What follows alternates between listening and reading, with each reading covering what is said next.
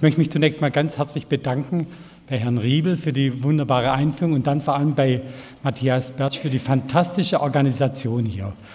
Und ich weiß nicht, dieses Bild Musik und Leidenschaft oder Musik minus Leidenschaft finde ich derartig gelungen und ich beneide Sie richtig, wie Sie diesen Titel gefunden haben und auch dieses Design gefunden haben. Ja, es ist eine große Freude hier zu sein, vielleicht noch historisch.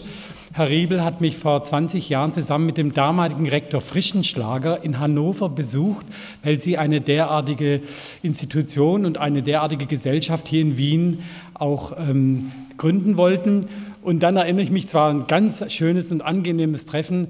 Und nachher hat mir Herr Riebel dann noch geholfen, den Beamer zu einem Vortrag zu tragen. Und damals wog ein Beamer noch circa 20 Kilo. Da musste man zu zweit anfassen. Es war vor 20 Jahren tolle Zeiten, schöne Sachen. Was ich heute vorhabe, ist tatsächlich, ich möchte was über das eigentlich besprechen, was uns hier alle eint, nämlich unsere Liebe zur Musik, unsere Freude an der Musik. Das ist, um was es jetzt hier geht. Und ich habe mir eben ein Thema ausgesucht, was ich mit vier Mitarbeitern oder Freunden, Kollegen gemacht habe, nämlich ähm, bearbeitet habe, nämlich Friedrich Nagel, der ist in der Zwischenzeit am Fraunhofer Institut, dann ähm, mein Kollege Reinhard Kopitz, Musikpsychologe, dann Oliver Greve, der ist bei der VW-Stiftung als Wissenschaftsreferent und Hauke Egermann, ich habe da leider den falschen Namen drin, der ist im Moment in York, leitet da die Abteilung äh, Musikpsychologie.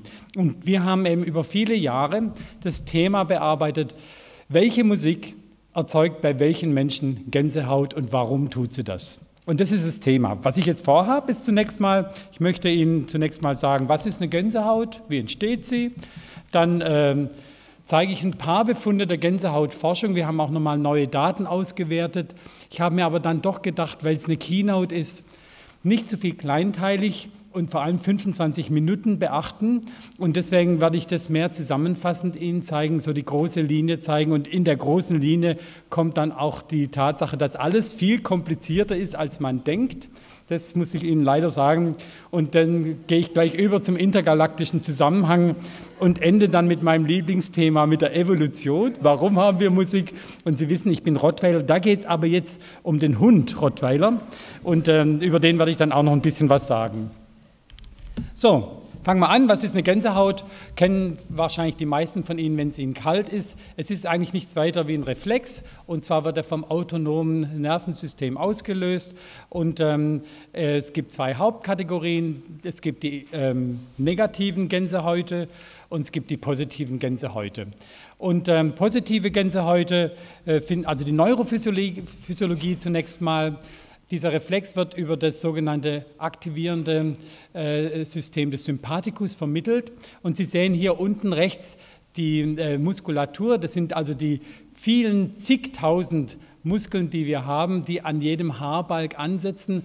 Musculus arrector pili heißen die. Und die werden eben über den Sympathikus angesteuert und führen dann dazu, dass sich die Haare aufstellen. Das führt in dem ursprünglichen evolutionären Zusammenhang zur Erwärmung, weil nämlich die sogenannte Zirkumvektion, das heißt der Abtransport von Körperwärme durch die Außentemperatur, durch die Luft, wird dadurch verringert. Das ist der Sinn, warum wir eine Gänsehaut kriegen, wenn es kalt ist. Ja, ist also eine ganz klare Sache, aber es wird eben noch in ganz vielen anderen ähm, Kontexten, nicht nur in der Wärmeregulation ausge, ähm, äh, ausgelöst, zum Beispiel im, das sagen die Zoologen, agonistisch. Also kommt von Agon der Kampf. Wenn ich drohe bei Drohgebärden, dann sträuben sich die Nackenhaare bei uns. Wir werden dann auch größer und das ist eben auch ein äh, universelles Zeichen der autonomen Erregung, des, eigentlich des ähm, ja, Aktivierung unseres Nervensystems. Wird wunderbar beschrieben, wenn Sie vielleicht so in der Literatur nachschauen, ähm, eine Szene bei Thomas Mann in den Buddenbrooks, wo der ähm, ähm äh, Bankier, äh, der äh, zugrunde geht und pleite macht, dann äh, in einem wutentbrannten Gespräch mit dem alten Senator Buddenbrock, wie beschrieben wird, wie sich seine Haare sträubten und aufstellten. Das nur so am. Rand, das ist also agonistischer ähm, äh, Arousal. Und dann gibt es aber eben diese Gänsehaut, die wir kennen, auditiv ausgelöst durch Musik, ausgelöst durch schöne Stimmen, aber auch durch ähm, taktile Sachen. Zum Beispiel gibt es da diese schönen, ähm, die sehen so aus wie Schneebesen, die man auf dem Kopf dann so die Kopfhaut massieren kann. Das kann ganz gut eine Gänsehaut machen. Dann, wenn die Blase sehr voll ist, kann man eine Gänsehaut kriegen. Dann äh, sehr saures Essen kann eine Gänsehaut machen. Dann tolle Bilder, tolle Menschen können eine Gänsehaut auslösen und dann eben auch solche ästhetischen Erlebnisse wie ein grandioses Fußballspiel. Das ist auch eine Ästhetik. Naja, Hannover ist am Aufsteigen, da bin ich irgendwie ganz, ähm, sehe ich das ganz gut. Also Sie sehen, es gibt sehr viele Modalitäten. Auch noch ganz wichtig für alle Zuhörer hier zunächst mal, wenn Sie keine Gänsehaut haben, ist es nicht schlimm. Nicht alle Menschen kennen das. Etwa 70 Prozent der Menschen haben Gänsehautgefühle relativ regelmäßig bei Musik. 30 ähm, Prozent kennen das nicht. Die sind aber nicht deswegen weniger musikliebhabend oder weniger empfindsam. Wir weiß nicht ganz genau, woran es liegt. Es gibt eben Menschen, die keine Gänsehaut besitzen. Okay, was steckt dahinter? Da gibt es relativ gute Forschung jetzt in der Neurowissenschaften. Ähm, Sie wissen, bei mir geht es nie ohne ein Gehirn. Ja? Und da haben wir jetzt hier ein schönes Gehirn. Und da sehen Sie jetzt hier äh, das sogenannte limbische System, habe ich hier auf der rechten Seite. Das sind nichts weiter wie komplizierte, verschaltete Ansammlungen von Nervenzellen im Bereich des, äh, im Bereich des Großhirns gehört dazu, Zwischenhirns, Mittelhirns und auch im Bereich des Hirnstamms. Und diese Nervenzellkonglomerate, die tun eigentlich die Emotionen verarbeiten. Und Emotionen sind, wenn man es jetzt mal wirklich so im großen Zusammenhang sieht, nichts weiter wie ein mächtiges Bewertungssystem. Was immer Sie hören, im Moment sind Sie emotional. Sie hören meine Stimme, ich bin emotional. Sie bewerten mich. Gut, schlecht, falsch, oberflächlich, zu tief, zu früh, zu hoch, zu spät und so weiter und so fort. Das ist im limbischen System. Gleichzeitig erzeugt das limbische System eben dann auch diese starken körperlichen Reaktionen unseres Nervensystems, eben Tränen, eben äh, Freude, eben auch dann sowas wie jetzt die Gänsehaut. Und die Kollegen aus Montreal, das war vor allem Robert Sartorre und seine Doktorandin Valerie Salimpur, die haben also Studenten gebeten, Gänsehautmusik mit in den Scanner zu bringen, haben ihnen diese Musik vorgespielt und haben dann mit bestimmten Tracern den Stoffwechsel von Dopamin im Gehirn nachgeschaut. Sie wissen, Dopamin ist das Belohnungshormon. Und da kommt eben was ganz Interessantes raus, nämlich dass im Moment des Erwartens der Gänsehaut, das heißt, wenn ich merke, aha, jetzt wird es irgendwie toll, jetzt wird es schön, da ist dann im hinteren Teil des sogenannten Schweifkerns, des Nucleus caudatums, eine Dopaminanreicherung. Und dann wird dieses Dopamin gewissermaßen nach vorne in den sogenannten Akkumbenzkern weiter transportiert und der Akkumbenzkern, der löst dann das eigentliche Glücksgefühl dann aus.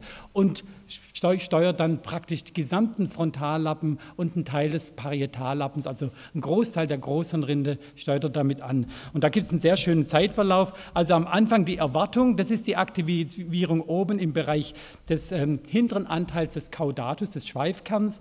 Und dann hier, der Akkumbenzkern ist erstmal ruhig und dann so nach circa 10, 15 Sekunden plötzlich in dem Glücksgefühl, dann entsteht dann hier diese starke Entleerung oder starke äh, Release, also ja doch starke ähm, Freisetzung, danke, starke Freisetzung von Dopamin.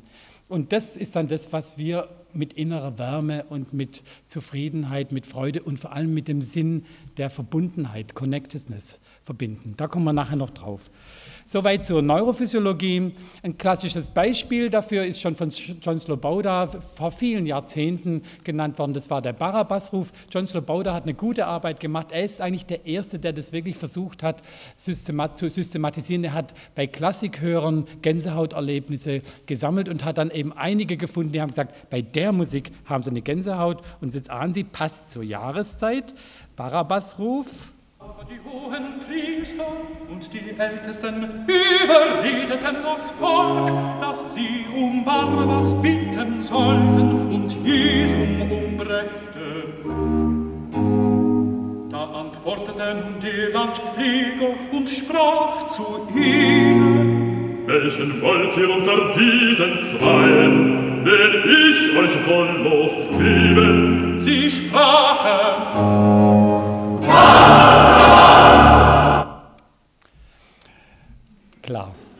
Ja. Und ähm, man muss natürlich dazu sagen, da hat mich der äh, Direktor der äh, Berliner Musikhochschule, Herr Renner, darauf aufmerksam gemacht, auf ein Essay von Theodor Adorno, der sagt, die schönen Stellen haben immer auch einen davor und einen danach. Und genau das ist es. Diese Aktivierung im hinteren Anteil des Schweifkerns ist gewissermaßen die Vorbereitung, während der, während der Evangelist und Pilatus spricht.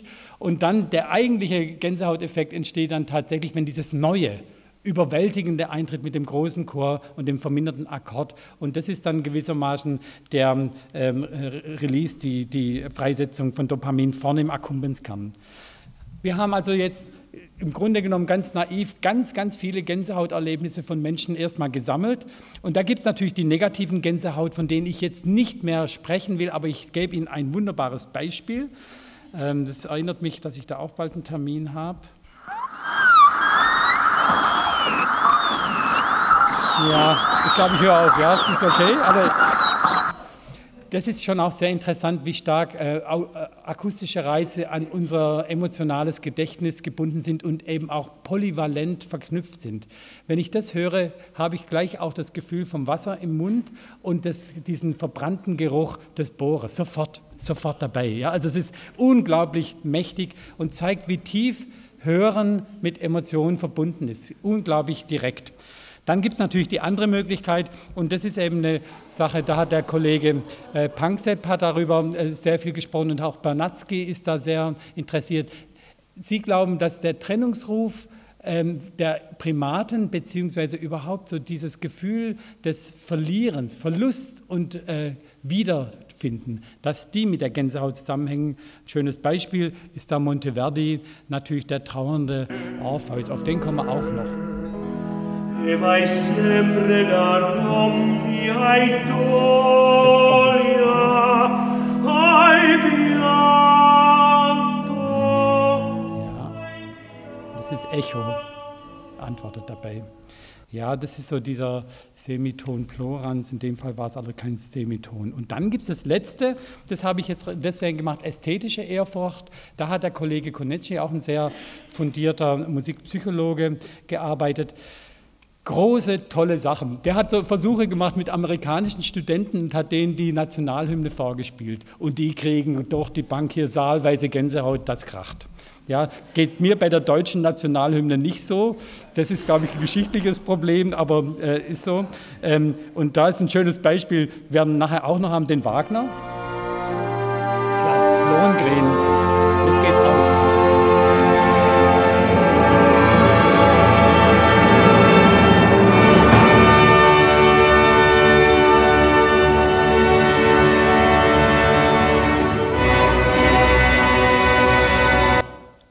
Also da kann man, das kann man auch irgendwie nachvollziehen, dass das eine Gänsehautstelle ist, wenn man auch im Orchester dann sitzt oder auch vor dem Orchester sitzt und diese Blechbläser dann mit diesem brillanten Klang und diesem das Gefühl, dass man eingehüllt wird von Klang, ja, dieses ozeanische Gefühl des Aufgehens in der Musik, wie es Sigmund Freud beschreibt, hier aus Wien.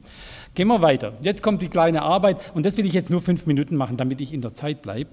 Und zwar, ähm, wir haben da total viel gemacht. Wir haben im Grunde genommen äh, äh, etwa insgesamt knapp 1000 Menschen befragt nach ihrer Gänsehaut, haben sie ins Labor eingeladen und haben dann sie ähm, ihre Gänsehautmusik also jeder dieser Hörer hat seine Gänsehautmusik mitgebracht und wir haben ihn gemessen, während er seine Gänsehautmusik hörte und dann noch während er andere Gänsehautmusik hörte, die aber bei ihm keine Gänsehaut auslöste. Habe ich mich verständlich gemacht?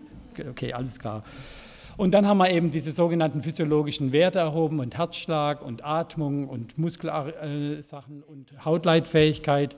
Und das wurde man dann also alles genau gemessen. Und dann kommt also Folgendes raus.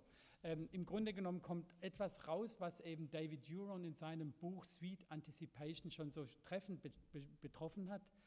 Wieder, es gibt so eine Art von Vorbereitung dieser Gänsehautmomente und zwar haben wir jetzt hier in dem Fall, ist es die Intensität des Gefühls auf der Seite und ich zeige es Ihnen hier, da nimmt die Intensität zu und hier in dem Moment ist gewissermaßen die Gänsehaut. Und dann geht es wieder ein bisschen zurück und dann bleibt die Intensität des Erlebens. Also unsere Probanden sitzen, hören zum Beispiel diesen Wagner und müssen dann mit der Maus angeben, wie intensiv sie das jetzt empfinden. Und da sehen Sie, das geht hier so, äh, so eben äh, etwa sechs bis zehn Sekunden vorher geht es los. Hier ist ein Kontrollmusikstück und das sind jetzt insgesamt waren das jetzt etwa 800 Gänse heute, die wir hier äh, zusammen gemischt haben. Anderes Beispiel ist jetzt hier die Hautleitfähigkeit, die ist ein bisschen schneller. Die geht etwa jetzt hier drei Sekunden vor dem eigentlichen Chill los, von der Gänsehaut los.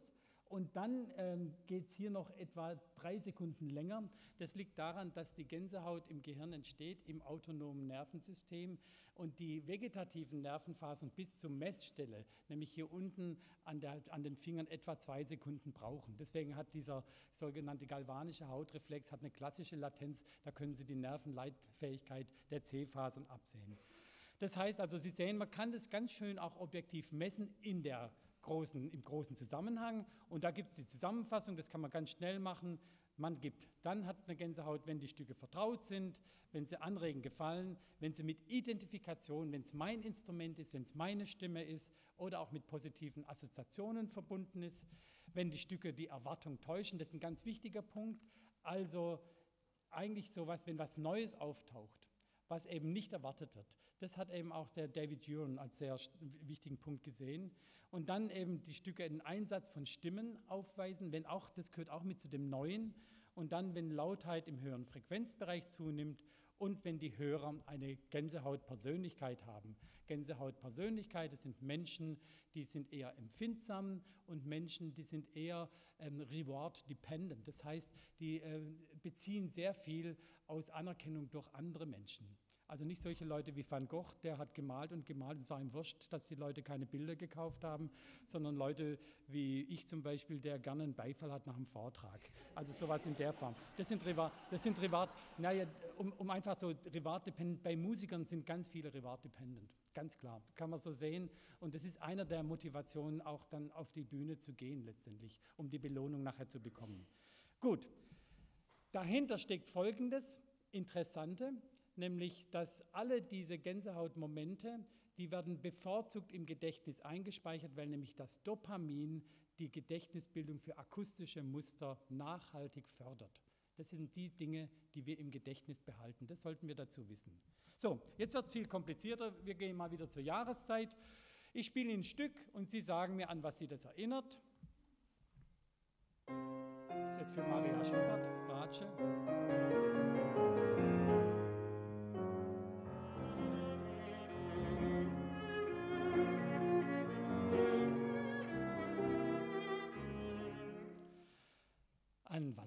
Sie das? Passend zur Jahreszeit. Und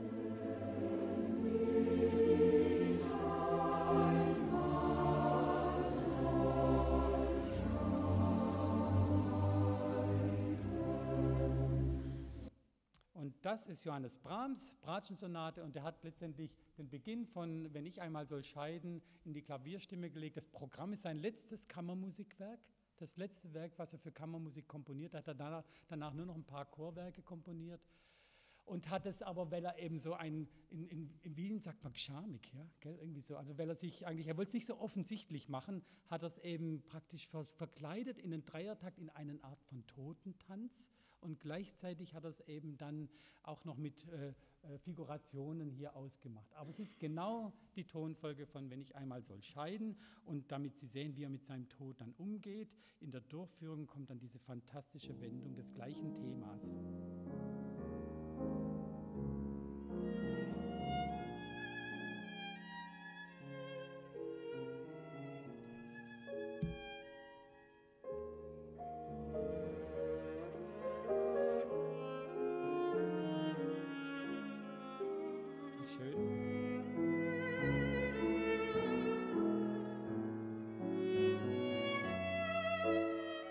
Fällt mir schwer, hier Schluss zu machen, aber es ist wirklich fantastisch. Ich wollte damit nur zeigen, unsere Gänsehauterlebnisse, die starken Emotionen sind durch Wissen ganz entscheidend mit beeinflussbar und werden Großteil erlernt und dann auch im Gedächtnis wieder mit abgespeichert. Und noch etwas, sie werden auch durch Mitgefühl und durch allgemein menschliche Gefühle getriggert. Wir kommen zu Kundri. Kundri.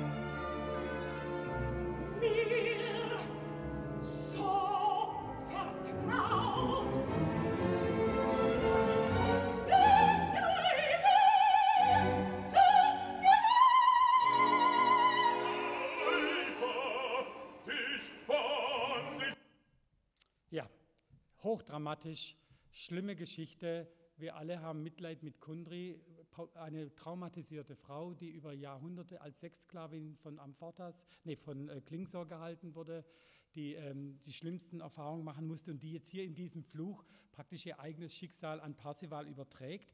Und das macht dann eben auch sowas, also ich finde es einen extrem starken Moment und ich kriege da jedes Mal auch jetzt wieder eine Gänsehaut, wenn ich das mir anhöre.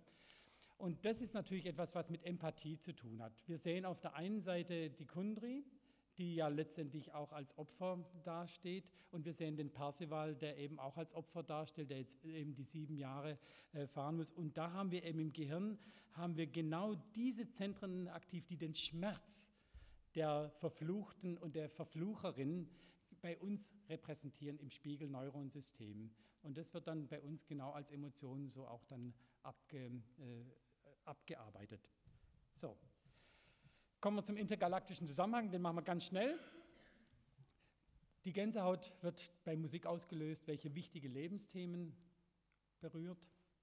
Auftreten des Neuen, das ist eines der großen Themen für uns allen. Wir haben jetzt auch in der Flüchtlingskrise zum Beispiel wir bereichern durch die Gänsehaut unser akustisches Repertoire und das ist eben ganz wichtig. Wir Menschen sind Hörtiere. Es gibt im gesamten Universum kein Lebewesen, was so viele akustische Muster einspeichern, erkennen, klassifizieren, reproduzieren kann. Denken Sie an die Sprachen, die Sie können. Denken Sie an die Zehntausenden von musikalischen Phrasen, die Sie kennen.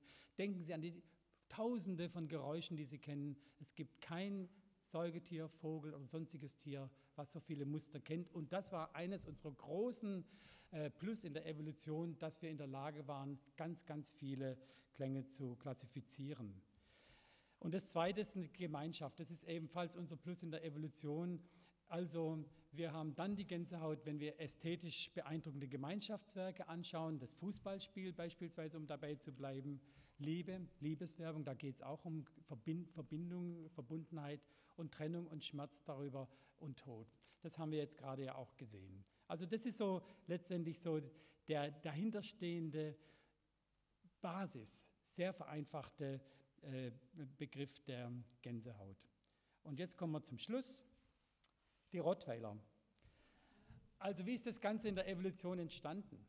Vor vielen, vielen Millionen Jahren, da gab es solche Laute. Und Sie sagen mir mal bitte, wie der Rottweiler ist von meinem Onkel Karl aus Rottweil. Wie Sie diesen Rottweiler, würden Sie den gern beim Joggen jetzt gerade treffen? Okay, alles klar, wir verstehen uns. Aber wenn ich komme, also, am Anfang, am Anfang stehen emotionale, akustische Signale in, in, sozialen Kontexten. Das ist dann, als wir anfangen, uns in Gruppen zu organisieren. Hunde sind ja auch äh, Gruppentiere und Rudeltiere und die sind universell. Lachen, weinen und sogar angeboren. Zum Beispiel auch taubblinde Kinder können lachen und weinen. Ähm, und das dient dem, dem Vermitteln von Nähe oder von Entfernung. Das ist der entscheidende Punkt. Was der Rottweiler will, wenn er droht ist, geh weg. Ja, und was er will, wenn er dich anwinselt, komm näher und kraul mich. Und dann so nach ein paar Millionen Jahren wurde das ganze Repertoire so ein bisschen differenzierter. Da haben wir dann so Tiere, die etwas tun, was die Menschen nie oder fast nie tun, die ein Leben lang nur einen Partner haben. Und das sind die Gibbons. Und damit sie den behalten, diesen netten Partner, machen sie jeden Morgen etwa drei Stunden das. Sie singen Duette. Männchen, Weibchen. Drei Stunden, ja?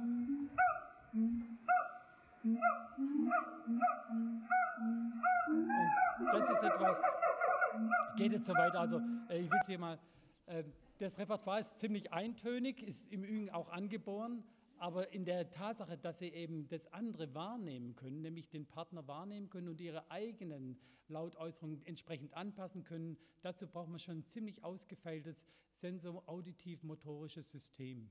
Und das ist gewissermaßen die Vorstufe für unsere Fähigkeit zur rhythmisch-melodischen Unterscheidung. Und dann brauchen wir noch ein paar Millionen Jahre, bis die Zunge entsprechend groß geworden ist, bis die Gästen in die Zunge gewandert sind und dann haben wir die Sprachen und damit eine differenzierte Arbeitsorganisation. Aber wir haben die Musik eben behalten und ein Teil der Sprache ist ja auch Musik. Deswegen habe ich das hier eben überschnitten. Wir haben die Musik behalten als eine Art von transformative Technologie des Geistes im Sinne der Bindung, der Affektbehandlung, auch des Trostes, wenn Sie so wollen, Spiritualität und der verborgenen Qualitäten. Ein Sänger zeigt zum Beispiel auch viel von seinen Emotionen, von seinen Qualitäten, von seiner ähm, Gesundheit. Und dann ganz zum Schluss kommen wir dann gewissermaßen zu der äh, Musik als Sprachträger und zur Gedächtnisbildung. Da haben wir natürlich dann die großen Oden, da haben wir dann aber auch Wagners Parsival, der dann eben durch die Untermalung mit Musik Kundris Fluch ihn wirklich ins Gedächtnis einbrennt. Und damit komme ich zum Ende. Was uns damit zeigt, ist gewissermaßen dieser Gänsehauteffekt. Und die starken Emotionen bei Musik verbinden uns eigentlich mit einem uralten Traum auch der Menschheit, nämlich die Fähigkeit, mit den Tieren und mit den gesamten wie soll man sagen, Lebenserscheinung unserer Welt in Verbindung zu treten und gemein, gemeinsam mit ihnen zu sein. Und da ist Orpheus, Orpheus Mosaik aus Rottweil hier im Übrigen, da ist Orpheus ein wunderbares Beispiel. Er singt hier so schön, dass die Vögel ihm zuhören. Da ist ein Löwe, da ist ein Hund.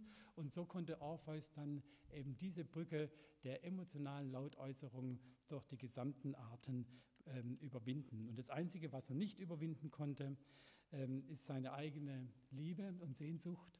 Und deswegen ist er, hat er sich umgedreht nach Eurydice, als er sie aus dem Tod zurückgeholt hat. Ich danke Ihnen sehr für Ihre Aufmerksamkeit und freue mich, wenn Sie noch ein paar Fragen haben. Vielen Dank. Danke.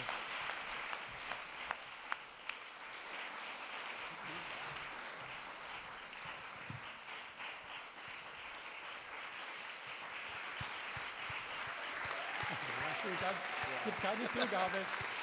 Danke.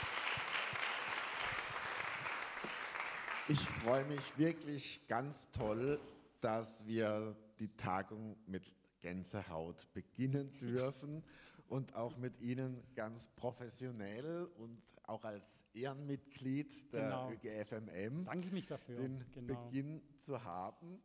Und bevor wir zum nächsten Sprecher kommen, haben wir den Umbau und ein bisschen Zeit für Ihre Fragen. Das heißt, ich würde das Mikrofon bitten, jeweils weiterzureichen und wir bauen hier um.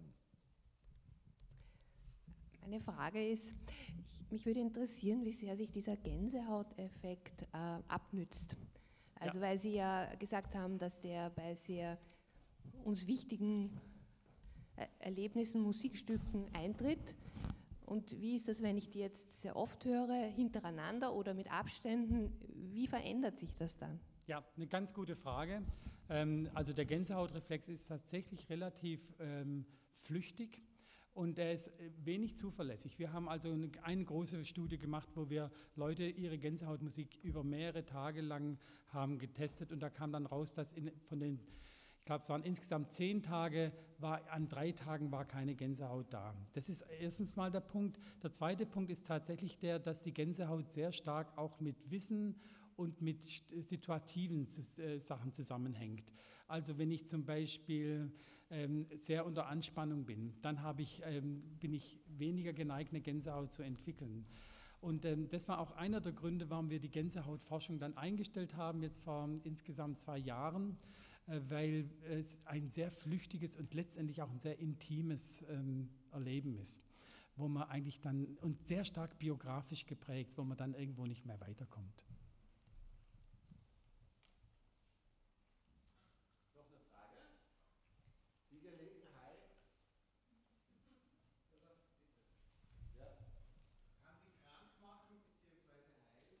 Ja, total gute Frage. Ich habe jetzt gerade ein Manuskript gereviewt über Musiksucht. Ähm, es ist sehr gut. Es gibt also Menschen, die werden süchtig nach äh, Gänsehauterlebnissen und ähm, die kann tatsächlich dann, die müssen, das ist eine Zwangsstörung. Die müssen diese Musik jeden Tag gewissermaßen 40, 50, 60, 80, 90 Mal hören, um so im emotionalen Gleichgewicht bleiben. Auf der anderen Seite ist es sicher so, dass sowas wie eine positive emotionale Prägung uns auch gesund machen kann und uns bei ganz vielen Abwehrmechanismen im Körper unterstützt. Insofern glaube ich, dass ein wichtiger Aspekt dieser äh, ganzen Musiktherapie, zum Beispiel bei chronischen Schmerzen, zum Beispiel auch was wir machen bei Schlaganfällen, hat sich auch etwas dazu mit den positiven Emotionen, die durch die musikalischen Erlebnisse ausgelöst werden. Jetzt war hier noch, ja, einfach ganz laut reden.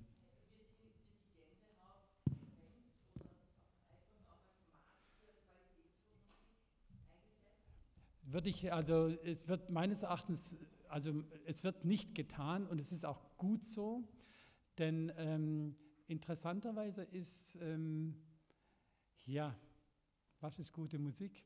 Also ich kriege auch Gänsehaut bei ganz, ich habe hier ein paar Beispiele, ganz banale Popsongs. Kriege ich eine Gigant, also wirklich einfach, die einfachste Harmonik und so weiter. Äh, ich glaube, gut, aber die machen natürlich dann auch entsprechend, äh, kommen die auf die Charts, da haben Sie schon recht. Ja, es kann sein, dass äh, es für die Beliebtheit von Musik eine Rolle spielt. Ja? Als Maß eingesetzt wird es meines Wissens nicht. Gut, vielen Dank. Wir werden weitergehen nochmal.